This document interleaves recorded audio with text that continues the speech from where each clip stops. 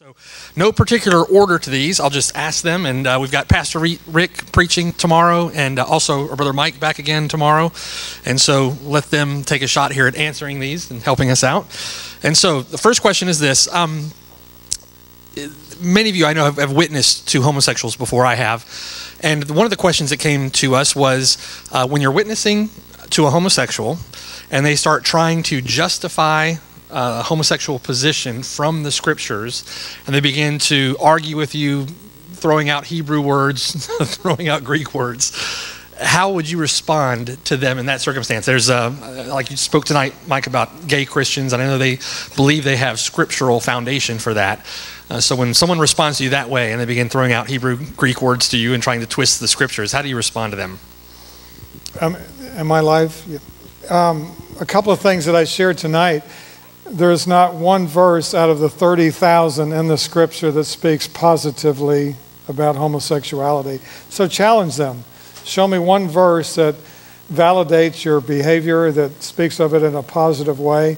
Show me one verse that describes marriage as anything other than between a man and a woman. And so, what you want to do is to challenge them. You be on the offensive, put them on the defensive, because they want to try and put you on the defensive, but take the offense. It's your requirement, if you call yourself a Christian, to show me in the Bible where God's word justifies your sinful behavior. Okay. Yeah, I know. Um, I was looking in the study, and um, you can't help but getting into some of the. Uh, the garbage that's peddled with respect to this, and you come across something really quickly called the Queen James Bible. Have you heard of that? There's something called the Queen mm-hmm. Queen James Bible, and um, a perversion in and of itself, as you can imagine. Uh, but one of the things they do, I know um, in um, with the Old Testament, with the New Testament as well. Uh, for for starters, you can go on there, and it's clearly attested to as well that there is. Oh, am I covering up? Okay, getting instruction from the back. Thank you, brother. And uh, one of the things that's uh, um, very clearly attested to is that uh, there are no Greek or Hebrew scholars that would validate their interpretation or their translation of Scripture.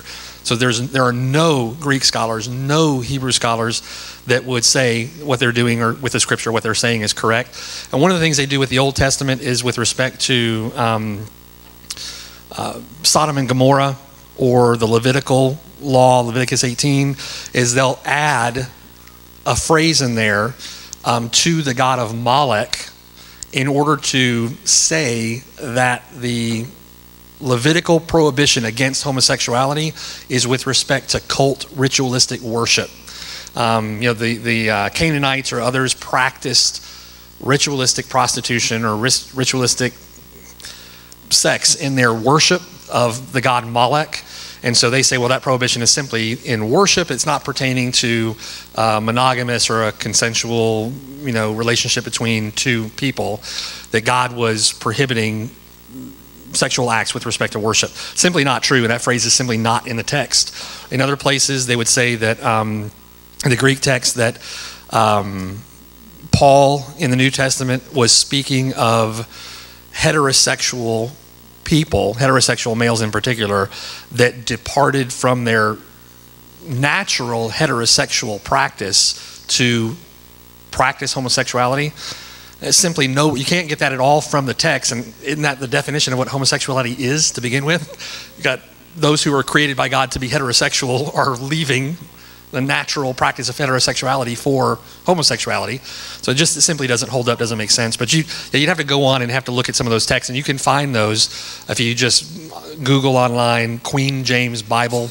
You're going to see all of those texts and how they twist them to, um, to make that work. So, and Mark, another thing we can say is that everywhere in the Bible, sex outside of marriage is always sin.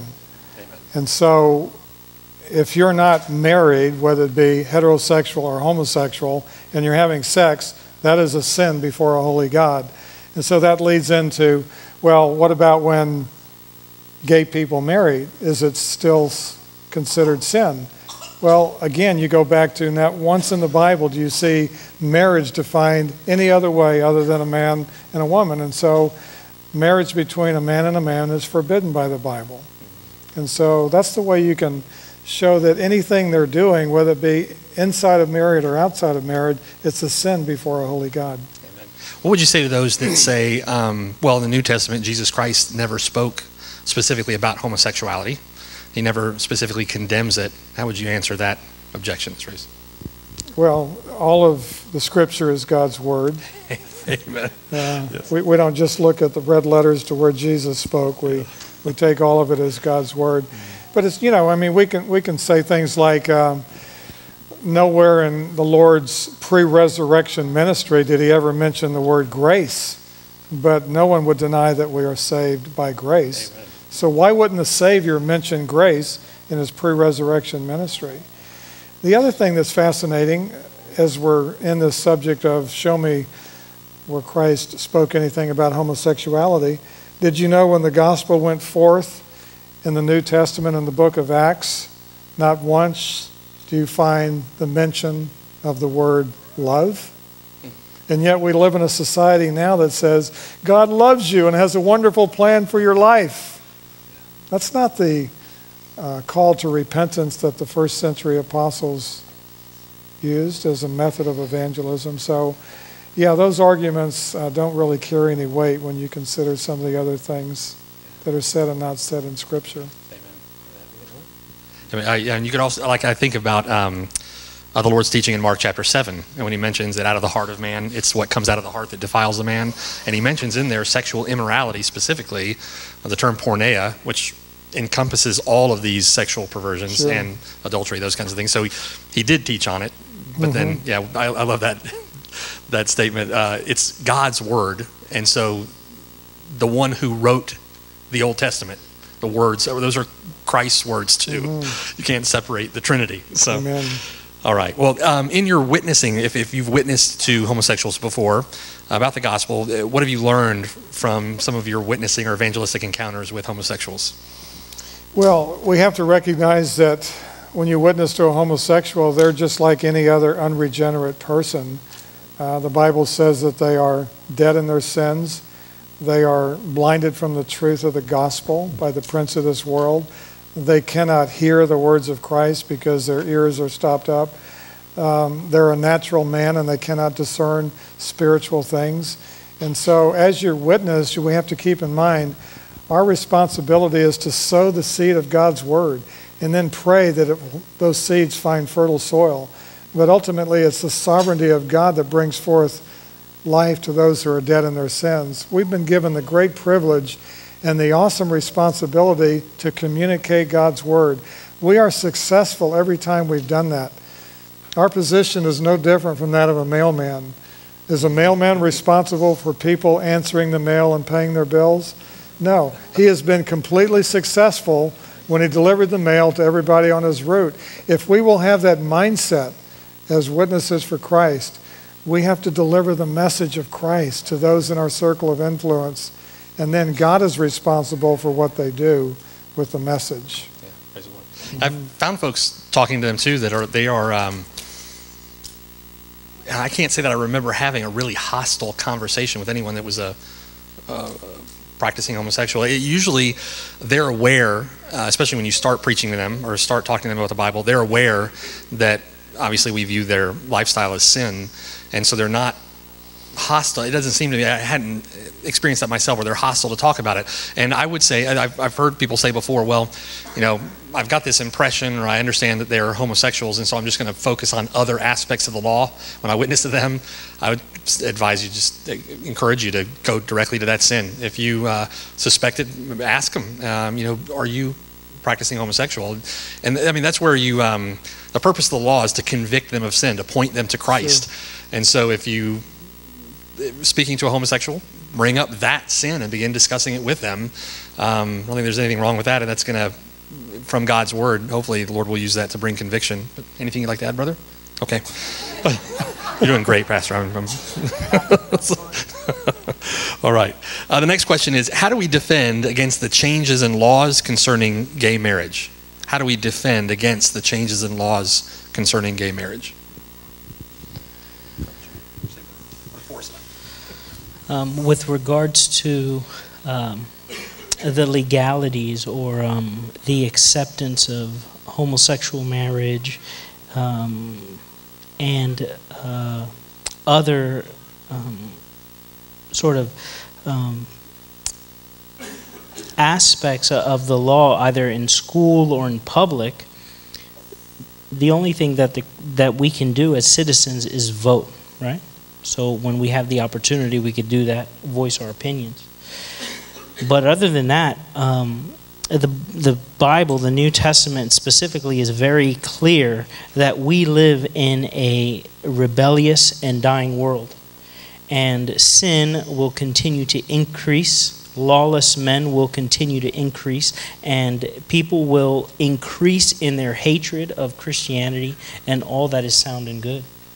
So, uh, exercise your right to vote, but pray earnestly that uh, the Lord of the harvest would send out laborers into the harvest field and pray for his coming. Yeah, we have to keep in mind, too, I mentioned that the homosexual population in America is 3 or 4 percent, and yet look at the great inroads a few people have made in having our laws changed. The born again Christians in America far outnumber the 3 or 4 percent of homosexual, homosexuals, but most of those are apathetic, they're indifferent, and lazy, and so their voices are not being heard. And so, more than ever, I think the church needs to do what the church is called to do be the salt and light in this earth, and to go out and battle in the spiritual warfare because ultimately, see, ultimately the warfare is between Satan and God and it's for the souls of men. And so if we do nothing, then Satan has an easy way with the souls of men. We have to rally the church and we can never let a lie of the devil go unabated. When a person stands up and spews a lie, we have every right to stand up and defend the glory and honor of our great God and Savior by speaking the truth from His Word. Just recently in Plano, Texas, which I think is the largest suburb of Dallas now, the City Council just last month passed a new ordinance for equal rights for homosexuals to include that if you feel like you're a transgender, even though you haven't had an operation. If you feel more feminine, you're allowed to go into a woman's restroom and use that if you're a man. And so this is just outrageous that this is happening in conservative Dallas. Five of the people that voted for this ordinance, three of them claim to be Christians. And so, fortunately, one of the pastors in our city gathered all the pastors in all churches throughout Plano and said, We need to stand against this. And so the only way to defeat or to overturn the ordinance is they required about 4,000 signatures. And so the church rallied, and we went out and we got, I think the last I heard, there was 10,000 signatures, far surpassing the number we needed. And so now this is going to come up for a vote, and it'll go before the citizens of Plano to overturn this ordinance. So that's how the church can get involved. When you see something happen, let your voices be heard. Don't let these left wing aggressive agendas come in and take over the city councils, because that's ultimately what they're doing. They're very well funded, but yet we outnumber them. So we just need to rally and encourage others, other Christians, to get into the fight. Uh, the next question is this um, What's the difference between homosexuality and sodomy in 1 Corinthians 6, verse 9? Difference between homosexual. I think some of the translations say effeminate. Um, would you guys like to respond to that?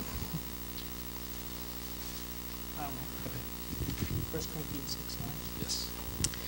So I'll read the passage. Or do you not know that the unrighteous will not inherit the kingdom of God? Do not be deceived. Neither the sexually immoral, nor idolaters, nor adulterers, nor men who practice homosexuality, nor thieves, nor greedy, nor drunkards, nor revilers, nor swindlers will inherit the kingdom of God. In, in, in my version, in the ESV, those two terms, the two Greek terms, are translated into one phrase nor men who practice homosexuality. One term refers to the passive partner and the other term refers to the active partner in, in consensual homosexual acts. That's why you have the two terms there. And I, I'm, I'm all for calling homosexual people sodomites. You know, they've hijacked the word gay, which is a, a lovely word in the English dictionary. They've hijacked our rainbow, which is God's promise that He will never flood the earth again. And so we need to take those words back. Let's call them what they are. The Bible calls them sodomites. So, and um, when I grew up, I'm older than most people here, but I can remember freshmen in high school, we called homosexuals queers. And it was shameful to be a queer in the American society back in the 60s. But this is how far we've come in just a few years. Now they're called gay, and it's a great marketing technique. And, and I think many people are embracing them because they're gay people, they're not sodomites.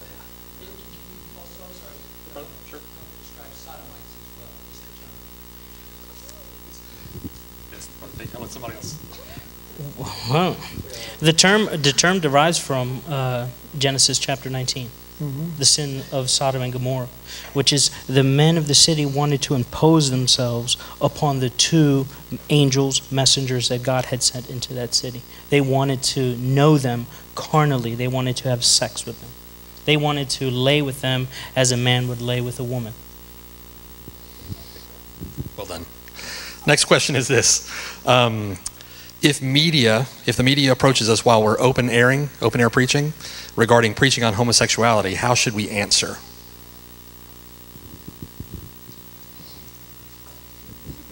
I, I, I would just keep preaching.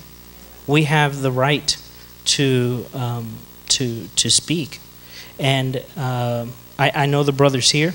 I know what you say and and what uh, the the heart.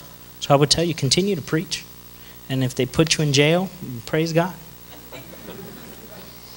And I've always found too that um, whenever you're confronted, it's always good to ask questions. Because ultimately, the more questions you ask, you're going to find that they can't answer them. And we can talk about the freedom of speech, the freedom that we have, not only to express our opinion, but also to express our convictions, which are found and rooted in the Word of God. That's our right as American citizens. And so we need to stand on the right and defend the glory and honor of our great God and Savior, even if it means going to jail. Um, and uh, remember, we as as Christians and as a church, we're to be uh, respectful to the civil magistrates. So, what I mean by continuing to preach, if you're approached by a police officer and they ask you not to explain to them that you have the right, and if they're just hostile, not agreeing, want you to stop, be respectful. Don't uh, don't dishonor them. Don't argue with them. Don't do anything like that. And go away rejoicing you're counted worthy to suffer shame for his name. Sure. Uh, we do. We, um, I'll ask that uh, our brother uh, would put this on our website too. We have uh, two documents from uh, Liberty Counsel. Um, both documents uh, outline or explain our right to preach the gospel in public spaces. And so I advise you to go on the website, download those. If you need copies, you can email us here. We'll get copies of those to you, and just take them out with you when you go. If you know you're going to be open air preaching um, and you're going to be on that subject, then it might be handy to have that with you. Just clearly outlines freedom of speech and our right to be able to preach the gospel in public spaces. You could hand that to somebody that's not familiar with it. I think the ordinance numbers on Yeah, the ordinance number, statute numbers are all on there as well. So, yeah, really helpful documents. So, okay. The next question, um, and we may cover a little bit of this in the sessions that follow, but uh, what is the connection between the homosexual agenda and NAMBLA? NAMBLA is the North American Man Boy Love Association. But the, the connections, I don't know if you. Go ahead. Um, uh, I think the, the most comprehensive book that I've read on this particular su- subject, when you're talking about um, how homosexuality has impacted our culture, is written by Michael Brown. And the title of the book is A Queer Thing Happened to America. Um, I can't remember all of the details of, of, the, of the particular chapter, but it's chapter 7. So, what I mean about particular is names. But he clearly lays out in chapter 7, and he shows how the, the at, at, at, the, at the very inception of the promotion of homosexuality as normative for, for uh, as, as normative, not as sin, that it was promoted by pedophiles and paederasts. So um, I, I would get my hands on that. There is a very close connection to the two. It doesn't mean that every homosexual is a pedophile or that every uh, pedophile is a homosexual. That's, that's not the connection that I'm trying to make. But that at the very inception, at the very beginning, when people started to speak out, some of those representatives, the many, as he points out very clearly in chapter 7 of his book, were uh, pederasts and pedophiles. We were talking about this some last night, that um, there were the thing that sort of sparked the, the beginning of the homosexual agenda and their coming out, so to speak, uh, were riots uh, in New York in 1969 called the Stone, Stonewall riots. And shortly after that, by 1972, there was a gay rights, a national gay rights activist organization that printed, published uh, an agenda for the gay rights movement. And the first item on that agenda was to lobby government for equal rights for homosexuals, equal rights with respect to marriage, with respect to health care, with respect to bills, you know, those kinds of things. We're going to lobby Congress. The second item on the agenda was the removal of the age of consent laws for consensual homosexual sex. And so you can read in between the lines there that what that does is uh, give them, and what they were looking for uh, was the right to have consensual relationships with children anywhere from ages 8 to 16. Uh, and that, those laws are still being fought today. In fact, they've been removed already in some places. Uh, recently, here on the news, there was a uh, relationship revealed between a child daughter and her father. So you have both um, incest and pedophilia, you know, in that household. And uh, apparently, that's being approved in the courts for them to go ahead and marry now. Um, so this has always been a, there's always been a connection there between those two movements. If you look at it really closely too, we'll probably talk about this some tomorrow. The arguments in favor of homosexual rights or gay marriage in the courts are the very same arguments being used to politic for acceptance from the courts for um, pederasty or pedophilia. So there's a really strong connection between the two, and that's the the in other words, wickedness doesn't stand still. Wickedness doesn't stagnate. It it it um, permeates. It becomes pervasive. It continues to progress. And one of the progressions of the perversion is pedophilia. And there's a lot more than just that, but um, that's just an example of one of many. So there's a connection. And unless you think that's unusual, it's gaining ground in the United States, NAMBLA, North America Man Boy Love Association, but that organization is already accepted in many other countries around the world uh, where it is openly practiced and openly accepted. So, very interesting. Um, the next question is this. Uh, we'll wrap up here quickly. Uh, there was a statement made that humans are the only ones who practice homosexuality. I've heard many times that certain animals practice homosexual behavior. Um, therefore, uh, because animals practice it, it's considered natural. How do you respond to that?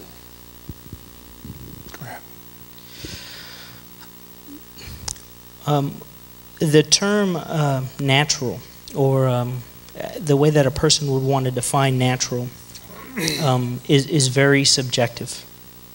So, uh, what we need to do is to understand the, the, the purpose for sexuality is we have to understand what God says about human sexuality. We live in a fallen and corrupt world. So if two male dogs decide that they're going to buddy up, that has no bearing upon what human beings who are created in the image of God do. Because God, from the very beginning, made them male and female and very distinctly, uh, God uh, made humans as creatures who are to come together in a sexual union for their entire lives. So, any kind of distortion that we see in the world that doesn't account for the original purpose and plan of God for men and women is because of the fall. And as Paul states clearly in Romans chapter 6, those sins can clearly be repented of, forgiveness can be found in Christ, and sanctification can occur in the mind, in the heart, and in the body of those people who struggle with those difficulties. So, whether an animal does something that's aberrant, even for beasts, does not make it okay for humans, because what God originally intended was man and women together. Amen. All right. Well, two, it'd be an abnormality in nature, not a normality. Right. You have to remember that ab, what, what, do, what does the abnormal point to? The norm. There is a norm. Every single person knows what that norm is because God has imprinted his fingerprint upon everything he made. And human beings are part of that creation. And God has given, a, a, a, given us a specific function and purpose in this world. And until we, uh, by his grace, line up to that function and purpose, we uh, we live uh, abnormally. And many of those you're going to witness to are anti Christianity, so they're thinking uh, evolutionary thoughts, also natural selection. And so, what do you think would happen if uh, homosexuality in the animal king- kingdom were normal? It's like th- those species would go out of existence in, a, in a hurry. So, yeah, no, that's a good point. Thank you, Brother Rick. Okay. Well, that's all we have time for tonight. And so uh, we need to let you go. But if we did not get to your question tonight, I've looked through the questions, and a lot of these are going to be uh, answered in the sessions that we'll have tomorrow.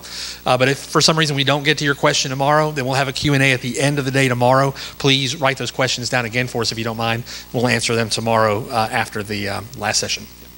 And if you want to try to catch us, I mean, I'm, if you want to catch me between a session, I would be glad to answer any questions you have. Likewise. Has this been helpful so far? Uh, praise the Lord. Okay. Well, let's pray and let's get you home. Thank you so much for coming. Uh, we look forward to seeing you tomorrow. Uh, we begin, we'll have uh, continental breakfast. I begin, at, I believe, at 8 o'clock, and then we'll start the first session at 9 a.m. All right? Let's pray. Uh, Father in heaven, so grateful to you to be here. So thankful for these brothers and sisters who've come and for our guests and visitors.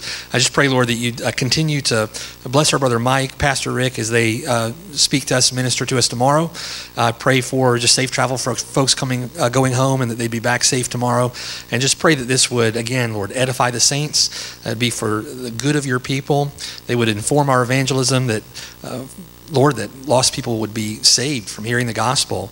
And Lord, that it would be for your glory, for your name's sake. We pray all these things in the blessed name of our great God and Savior, Jesus Christ our Lord. Amen.